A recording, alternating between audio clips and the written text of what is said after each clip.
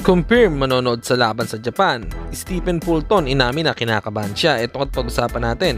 Pero bago ang lahat, pag-subscribe po ng channel ko. Huwag niyo na rin kalimutan i-click ang notification bell para lagi kayong una sa balita.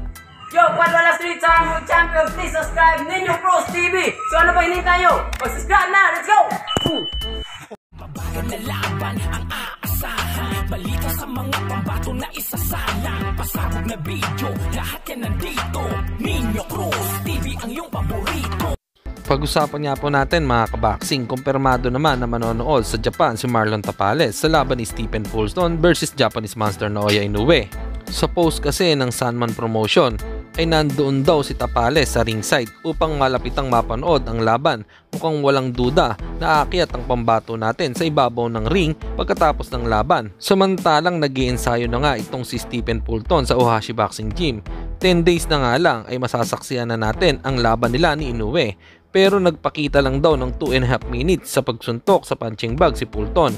Ayon pa sa kanya, ayaw daw niyang magpakita ng sobrang training.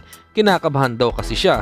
Pero hindi naman tinukoy kung bakit ito kinakabahan. Posibleng mapag-aralan siguro ang teknik nito or galawan. Kaya hindi masyadong nagtatagal sa pag-iensayo. At isang mabilis na update lang po tayo kay 3 Division World Champion General Cuadro Alas Casimiro.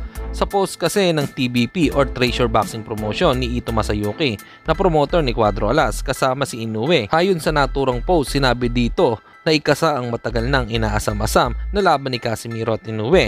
Hanggang dito na lang muna ang ating balita. Dito na lang ang aking Boxing News Report. Babu!